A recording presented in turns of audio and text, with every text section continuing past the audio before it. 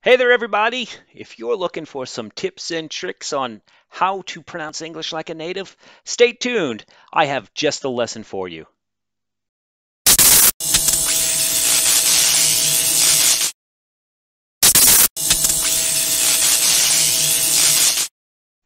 Hello, everyone. Welcome back to another episode of Reading Out Loud with Donnie. I'm Donnie Lord. I created this ESL channel for my students who are looking for a resource to practice speaking English like a native. You will find both text and video displayed in each episode, along with a few vocabulary words. While watching these videos, it's important for you to notice and imitate how my jaw, lips, teeth, tongue, throat, and nasal passage all work together to make the sounds required by the English language. Be sure that you pay attention to the speed and pitch of each word. If you need to, stop, pause, rewind, and rewatch these videos as much as you need to to make these words correctly. And if you can, record yourself. That way you can self-evaluate your performance. If these videos are helping you, hit that subscribe button. You will be the first to know when new episodes are created.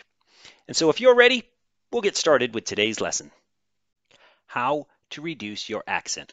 Four steps to speaking English like a native. Today's vocabulary.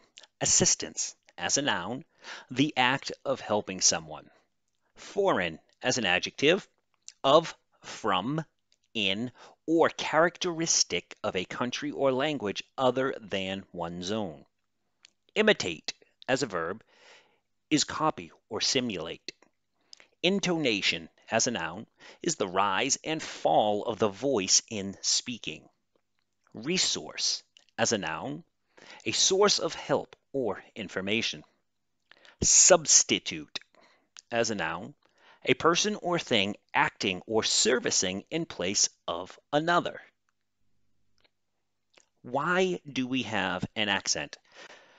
This occurs when a person speaks one language using some of the rules or sounds of another one. For example, if a person has trouble pronouncing some of the sounds of a second language they're learning, they may substitute similar sounds that occur in their first language.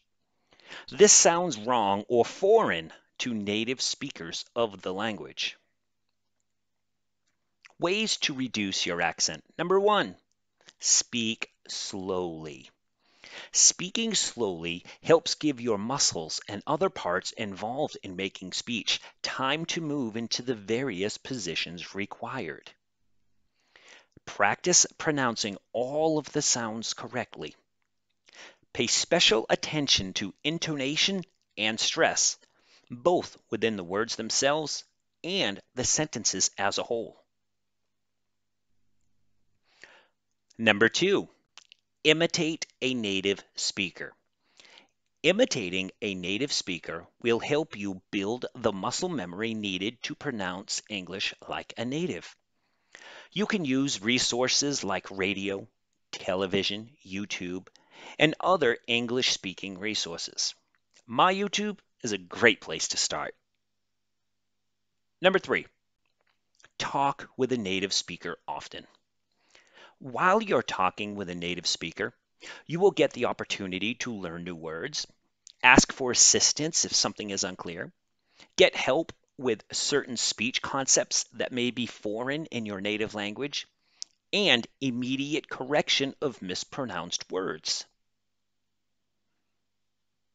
Fourth tip, practice, practice, practice.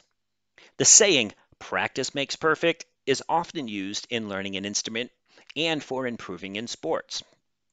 The same holds true with learning a language. All of these focus on muscle memory. Reducing your accent is simply training the muscles involved in making speech. Using resources like tongue twisters and minimal pairs will help you tremendously. Thank you for watching another episode of Reading Out Loud with Donnie. I hope that you have and are learning a lot about English through these videos. If so, don't forget to subscribe, share, give me a thumbs up, comment, all of that great stuff. And if you would like personal one-on-one English classes with me, please hit the link. It's in the description. It'll look something like this. I hope you have a super day.